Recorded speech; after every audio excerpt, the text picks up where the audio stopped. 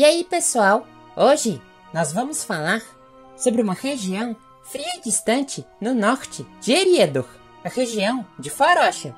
Aproveitem aí, deixem um like e se inscrevam no canal. Tendo dito isso, vamos ao conteúdo de hoje. Farocha, cujo nome significa literalmente Gelo do Norte, em Sindarin, é uma região gélida no extremo norte de Eriador. Além da enorme quantidade de neve, a região é conhecida pela sua grande baía de gelo. Ao sul dela ficam as colinas do Vesperturvo, ao sudoeste as regiões do Alto Rio Lum, ao sudeste as colinas do norte, ao leste o reino de Angmar e ao norte os mares congelantes do extremo norte da Terra-média. A região surgiu no final da Primeira Era, na Guerra Cataclísmica que levou à ruína de Belerende e das terras de Dordaidelos, ao norte. Antes desses eventos, a região era basicamente parte da grande cadeia de montanhas da Zera de cujos remanescentes mais próximos são as montanhas de Angmar. Durante esse cataclisma, toda a região afundou no mar e se tornou o que nós vemos nos mapas mais recentes da Terra-média. No Atlas da Terra-média consta que há muitas eras no passado, a região era onde ficava o Túmino, a fortaleza primordial de Melkor. Mas isso não é preciso, já que com base nos relatos dos livros, dá para deduzir que a localidade desse verdadeiro inferno ficava no nordeste da Terra-média, de certa forma próximo a Cuivienen, o local de surgimento dos Elfos. Durante a Segunda Era e a Terceira Era, a região foi colonizada por tribos humanas de Farod White, o grande ermo gélido do norte, outrora parte de Dordaidelos, as terras do gelo eterno. Esses humanos viviam em tendas de pele e amarravam ossos em seus pés para patinarem no gelo e passaram a ser conhecidos como Lossote, os homens das neves de Farocha. Durante a Segunda Era, a região acabou não sendo muito afetada pela invasão de Sauron em Eriador, ou pelas guerras entre os Númenóreanos e os humanos da Terra-média. A região provavelmente se comunicava com os anões de Angmar e do Monte Gundabad, devido à proximidade.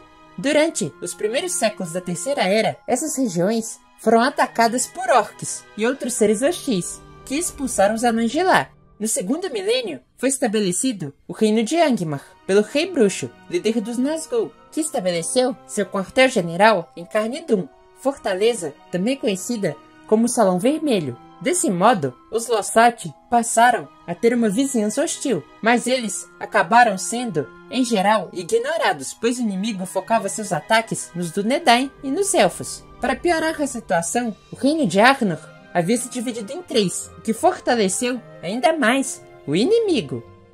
O rei bruxo fez de tudo para gerar discórdia entre os reinos dos Dúnedain, colocando Rudaur contra Cardolan e Arthedain, assim como também o colocou contra os elfos de Valfinda. No final, um a um, os reinos foram derrubados e os Dúnedain foram reduzidos a uma patrulha de guardiões, enquanto seus antigos súditos passaram a viver em vilas como Bri, Durante a queda de Arthedain, o último rei, Arvedui, fugiu de Fornost, que estava sendo sitiada, para Foroshel, levando o Palantir.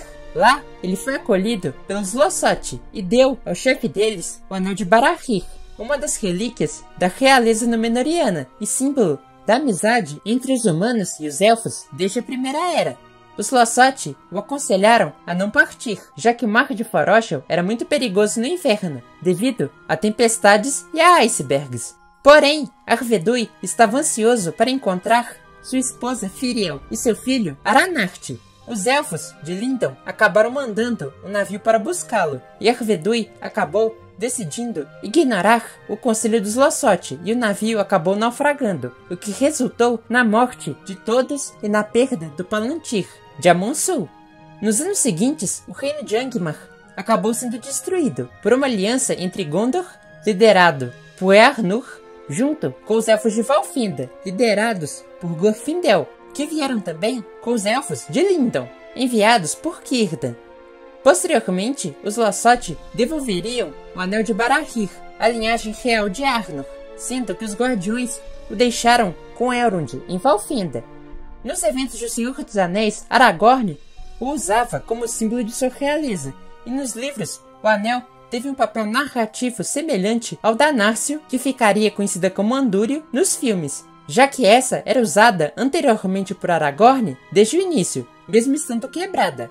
Uma curiosidade sobre os Homens das Neves de Foroshel é que eles parecem ter uma cultura baseada nos povos da Finlândia, dos Urais e do norte da Sibéria. No jogo The Lord of the Rings Online, os nomes deles e de suas vilas são todos em finlandês, inclusive.